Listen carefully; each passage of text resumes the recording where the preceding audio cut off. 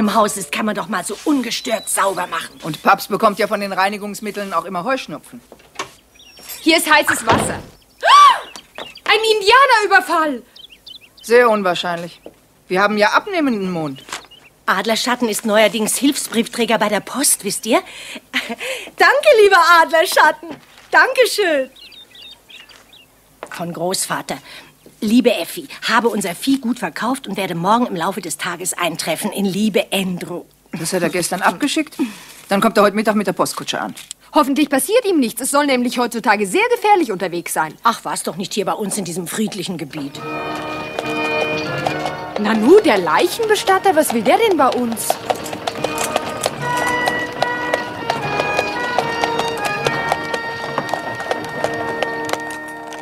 Darf ich Ihnen mein aufrichtigstes Beileid wünschen? Sehr aufmerksam von Ihnen, Mr. Loomis, aber ich glaube, Sie haben sich in der Hausnummer geirrt. Natürlich, was denn sonst? Von uns ist niemand gestorben. Wir leben noch alle.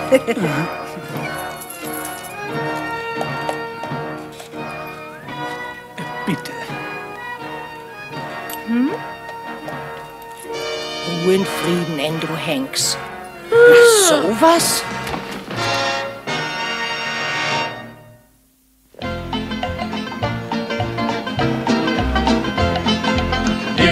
legend about the Hanks in pistols and petticoats.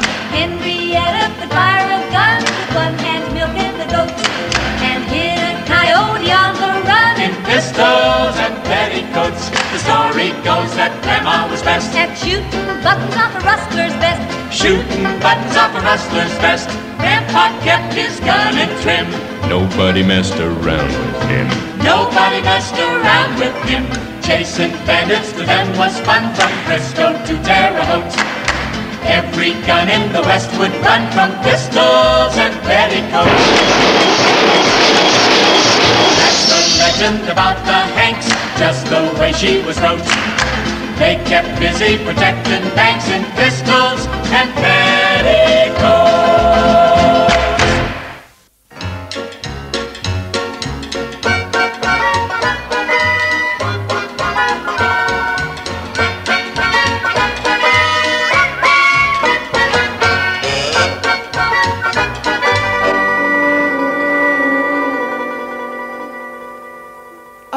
Liebling, deinem Großvater geht es doch prächtig. Ja, das stimmt. Er hat seine Belohnung erhalten.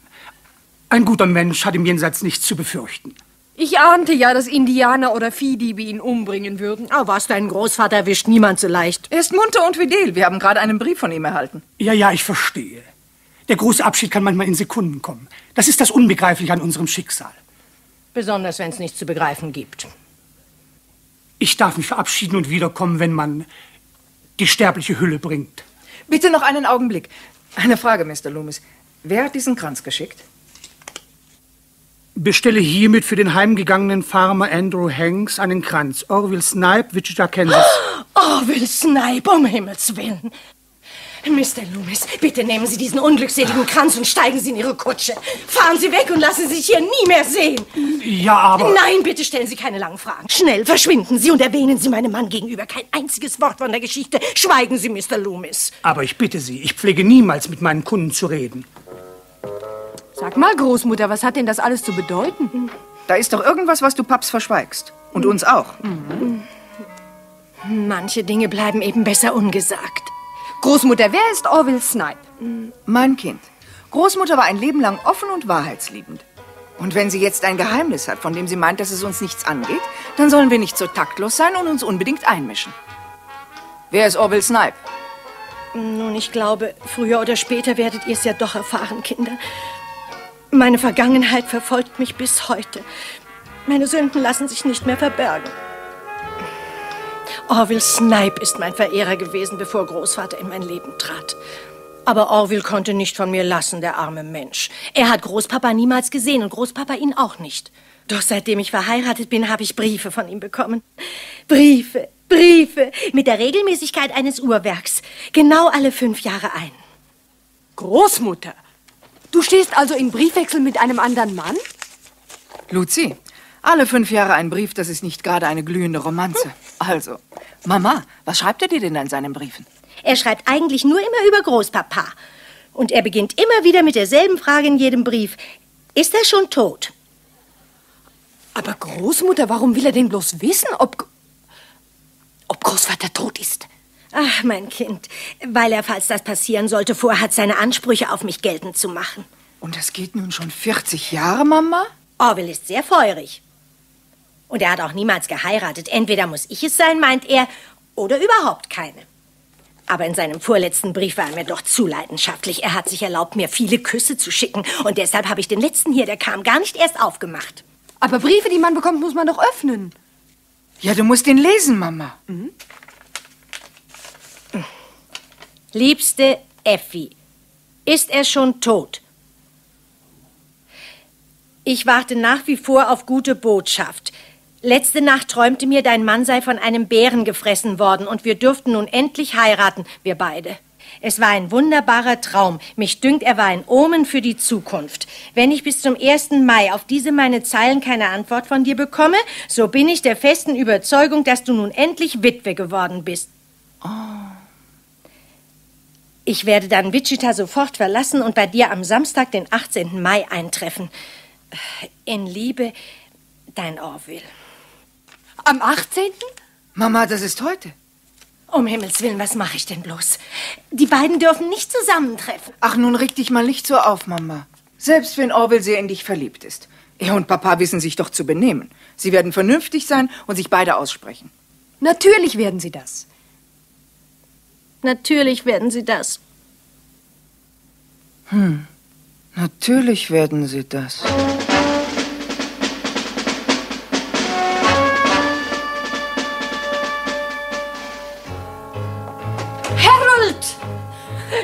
Postkutsche, die von Wichita kommt, anhalten. Ja, sofort, Luzi. Harold, es ist ganz furchtbar dringend. Was machen Sie denn vor dem Spiegel? Ich muss hypnotisieren üben.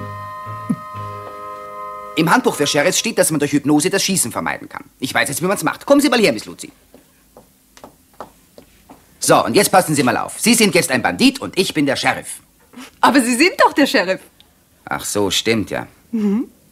Also, wir starren uns jetzt beide an und dann werden Sie merken, wie man einen Verbrecher mit Anstarren überwältigen kann. Okay. Fangen Sie an zu starren.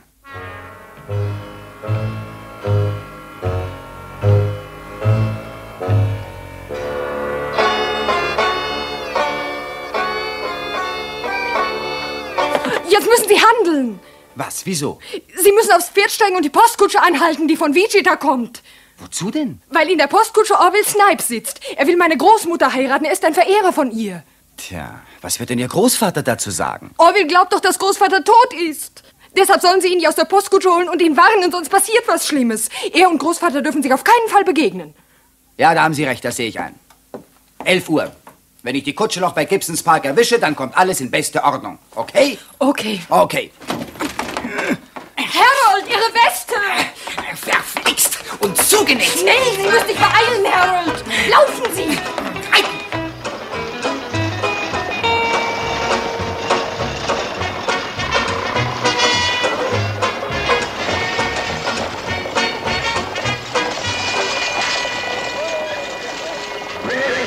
Bitte entschuldigen Sie, aber ich muss Sie stoppen, Kutscher. Haben Sie zufällig einen Fahrgast namens Orwell Snipe in der Postkutsche?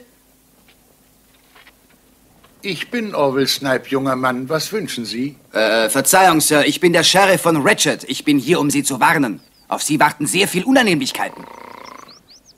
Wieso? Ich bin unterwegs, um zu heiraten. Ja, eben das meine ich ja. Der Mann der Frau, die Sie heiraten wollen, ist vielleicht nicht damit einverstanden. Der Mann ist gar nicht da. Ja, ja, das weiß ich, Sir. Aber er kommt zurück. Nein, junger Mann, das wird kaum möglich sein, denn der Mann ist ja tot. Von da aus, wo er sich befindet, gibt's keine Rückfahrkarte.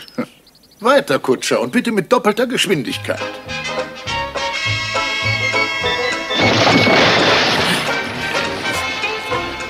Ja, ja, die Pferde wittern den Stall. Ich äh, habe den Kutscher gebeten, schneller zu fahren. Ich werde nämlich von einem wunderschönen Mädchen erwartet. Wir wollen heiraten. Sind Sie nicht schon ein bisschen zu alt für so ein Unternehmen? Aber wieso denn? Ich fühle mich so rüstig wie noch nie zuvor. Hä? Ich habe 40 Jahre auf diesen Tag gewartet. Aber nun hat dieser alte Tölpel von Ehemann die Augen endlich für immer geschlossen. Jetzt ist sie frei und bettet ihr zartes Haupt an meine Schulter. Na, hoffentlich warten Sie wenigstens so lange, bis der Leichnam kalt ist. Ich muss an mich denken, denn in meinem Alter zählt jede Minute. Da kommt es sogar auf die Sekunde an, was? Mhm. Na, wenn Sie jemals in Bezug auf Frauen und Ehen Rat haben wollen, dann kommen Sie ruhig zu mir. Das werde ich gerne tun. Vielen Dank. Bitte, bitte, gern geschehen. Mama! Großmutter! Herr Rosch konnte Orwell nicht aufhalten. Das konnte ich mir denken. Orwell ist ein alter Dickkopf. Sag mal, Luzi, findest du, dass die Vase zu den Blumen passt? Mama, man muss doch verhindern, dass die beiden sich hier treffen. Du weißt doch, dass Großvater nach Hause kommt. Und du weißt doch, wie er ist, wenn er einen Viehtransport hinter sich hat. Ach, reg dich doch nicht auf. Irgendwie werden wir die Sache schon hinbiegen, mein Kind. Aber Mama, wie leichtsinnig von dir. Stell dir doch mal vor, wie das ist, wenn sich hier zwei eifersüchtige Männer im Wohnzimmer bekämpfen. Aber Kind, Großvater ist doch nicht die Bohne von eifersüchtig. Und was ist mit Orwell? Hm, für den möchte ich nicht die Hand ins Feuer legen. Na, vielleicht erschießt er Großpapa. Nein, ich glaube nicht, dass es irgendwelche Schwierigkeiten gibt. Orwell ist ziemlich gut erzogen, weißt du? Er liest Bücher und gibt Flötenunterricht. Und Flötenlehrer sind bekanntlich schlechte Schützen. Da kommt jemand. Wenn das nun Orwell ist. Ach was, das ist dein Großvater. Orwell pflegt viel leiser zu gehen.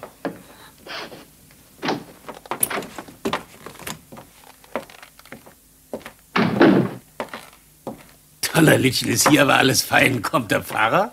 Nein, der Pfarrer nicht. Aber wir erwarten einen Besuch aus Wichita. Entschuldigt mich, ich muss mir meine Haare waschen. Der Besuch aus Wichita ist wohl ein Liebhaber oder sowas ähnliches. Oh nein, Andrew, Liebhaber ist ja nun etwas übertrieben. Bitte entschuldigt mich, ich muss mir jetzt auch das Haar waschen. Was ist denn los? Wo seid ihr denn alle mit euren Köpfen gewesen, dass sie so dreckig sind? Effi, in diesem Hause ist eine Weiberverschwörung im Gange. Das kann man riechen. Aber Andrew, es kann doch keine Verschwörung im Gange sein, wenn niemand da ist, gegen den man sich verschwören kann. Und Henrietta, Luzi und ich würden sich nie gegeneinander verschwören, wie du ja weißt. Effi, für ein weibliches Wesen bist du ziemlich gewitzt, aber ein Geheimnis kannst du keines bewahren. Da benimmst du dich wie ein neugeborenes Kalb. Also, was ist los? Nun sag schon. Nicht, wenn du die Stacheln aufstellst. Effi, das habe ich doch schon seit Jahren nicht mehr getan. Das weißt du doch genau.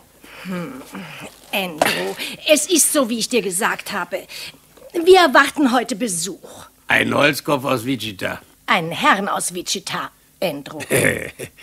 Und der stinkt nach Lavendelwasser und Schuhpasta. Neben dem habe ich in derselben Kutsche von Sorry Water nach Ratchet gesessen. Was will denn dieser Knallkopf hier bei uns? Hm, lieber Andrew, ich muss dir leider etwas gestehen. Ja, und weil ich auf seinen letzten Brief nicht geantwortet habe, deswegen kommt Orville nun heute hierher.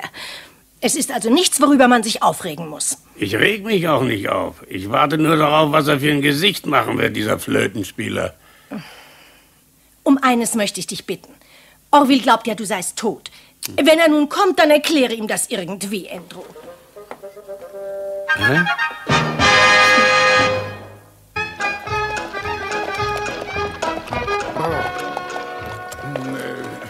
Guten Tag. Verzeihung, ich suche. äh, Na nu, was tun Sie denn hier? Ich wohne hier. Ach ja, natürlich. Sie sind sicher Effis Schwager, nicht wahr?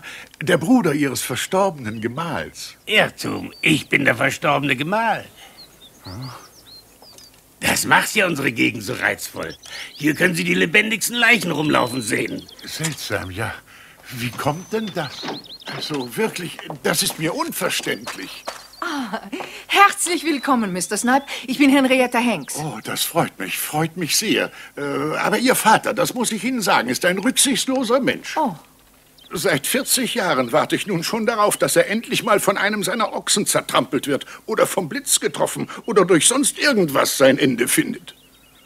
Und jetzt, wo ich annehmen durfte, er hätte sich für immer empfohlen und meine Hoffnung kurz vor der Erfüllung stand, da finde ich ihn eben bei meiner Ankunft vor. Und ganz lebendig noch dazu. Was würden Sie denn an seiner Stelle machen? Nun, ich muss sagen, unter diesen Umständen würde wohl jeder ehrbare Mensch das einzig Richtige tun, nämlich sich selbst beiseite schaffen. Mr. Snipe, Ihre Art zu denken finde ich nicht nett. Das ist eine Auffassung, die mir missfällt. Das glaube ich, denn ich merke schon, Sie denken wohl nur an Ihren Vater. Aber er besitzt Ihre Mutter nun schon über 40 Jahre. Nun wäre es ja wohl richtig, wenn ich mal an die Reihe käme. Snipe, meine Antwort darauf lautet nein. Ich denke nicht daran, Ihnen Effi abzutreten. Nachdem ich sie nun schon so viele Jahre durchgefüttert habe. Hören Sie mal, ich bin ein sehr entschlossener Mann, Mr. Hanks. Und wenn nötig, werde ich auch bereit sein, zu kämpfen. Hm. Morgen ist Sonnabend, ein günstiger Tag. Da können wir ja von neun bis fünf Kampfstunde ansetzen. Einverstanden. Und vielleicht mag es etwas simpel sein, aber wir werden die Angelegenheit mit Revolvern bereinigen. Wer übrig bleibt, bekommt Effi. Wer übrig bleibt.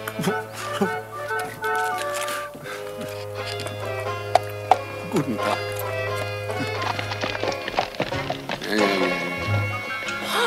Was ist denn? Fährt Orville schon wieder weg? Ja, Mama.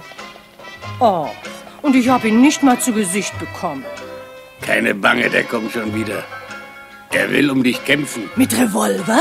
Womit denn sonst? Etwa mit der Flöte? Hm.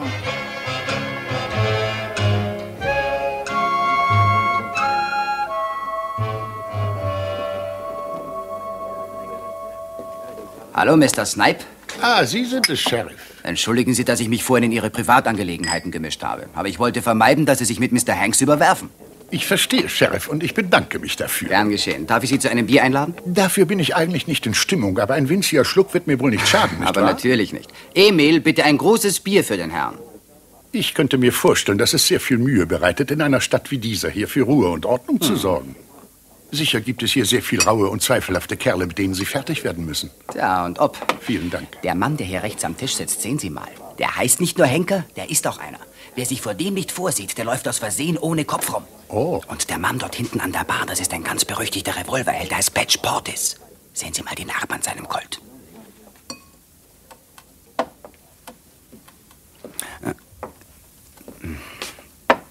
Ein Revolverheld? Die Bezeichnung sagt wohl, dass er im Schießen sehr geübt ist, ha? Stimmt, er hat fast auf jedem Friedhof in dieser Gegend ein paar Empfehlungen zu liegen. So, was Sie nicht sagen. Na, dann muss er ja wirklich etwas können.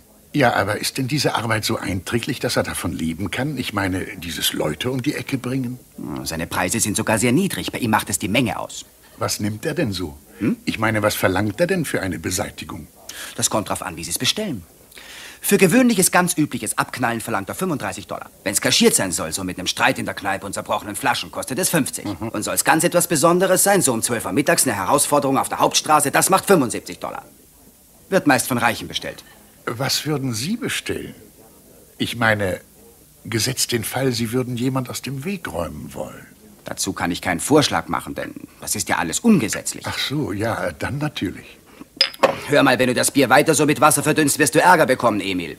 Also, Sir, wenn Sie irgendwelche Hilfe oder Ratschläge brauchen, wenden Sie sich ruhig an mich. Wiedersehen.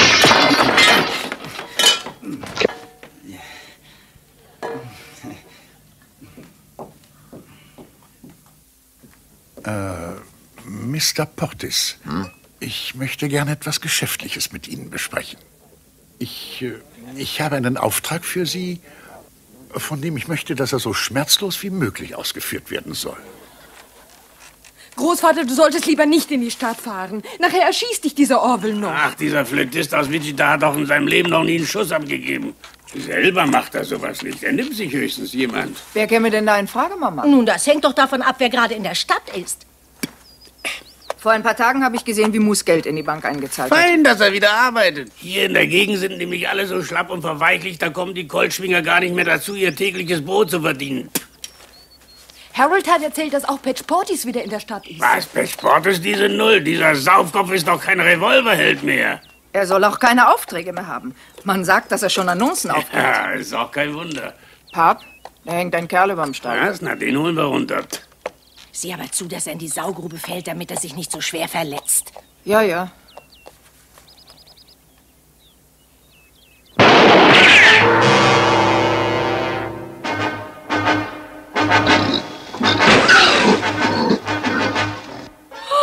Oh, Da wird er sich nicht langweilen, da ist er bei seinesgleichen. Ist Luzi schon wieder in Ohnmacht gefallen? daran wird die Hitze schuld sein.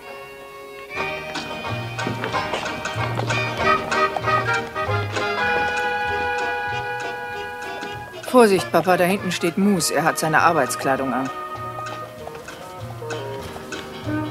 Halt! Stehen bleiben, Hanks.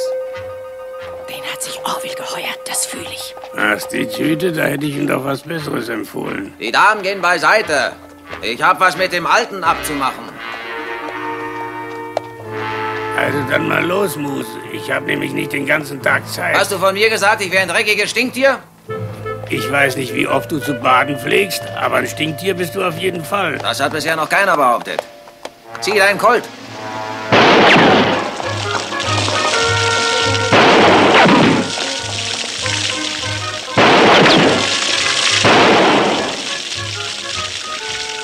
Auch im tiefsten Herzen ist er so ein guter Junge. So, na dann leg ihn doch trocken, den süßen Bubi.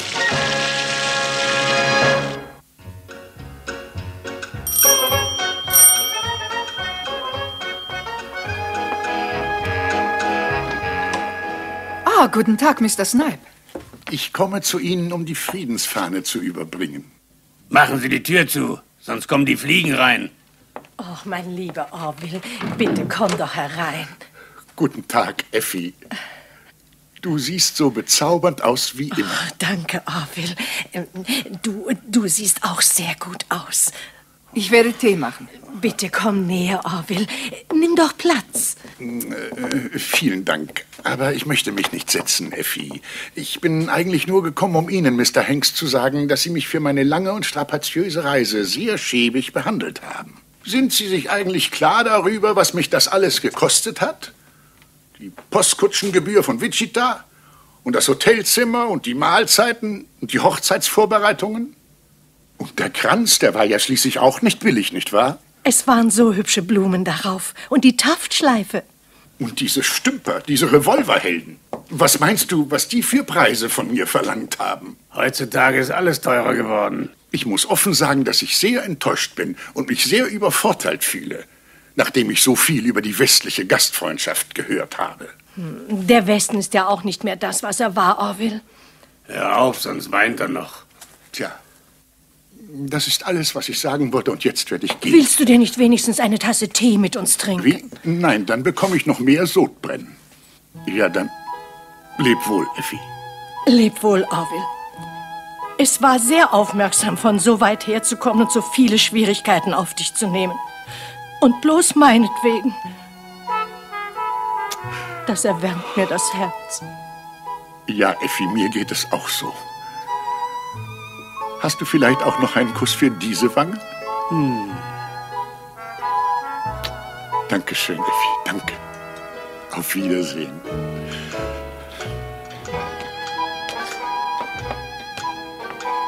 Auf Wiedersehen, Henrietta. Es war nett, Sie kennenzulernen. Schade, dass Sie nicht noch etwas bleiben können. Wie es Ihnen ergehen wird, Mr. Hanks, ist mir egal, aber bitte geben Sie mir auf Effi gut Acht, ja? Und nehmen Sie nicht an, dass ich tot bin, bevor Sie es nicht von mir selbst erfahren.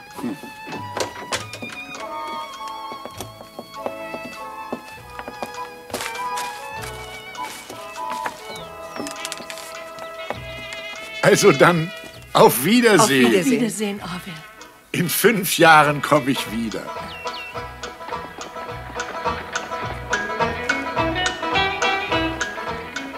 Was wäre denn nun geschehen, wenn Großmutter sich für Orville entschlossen hätte?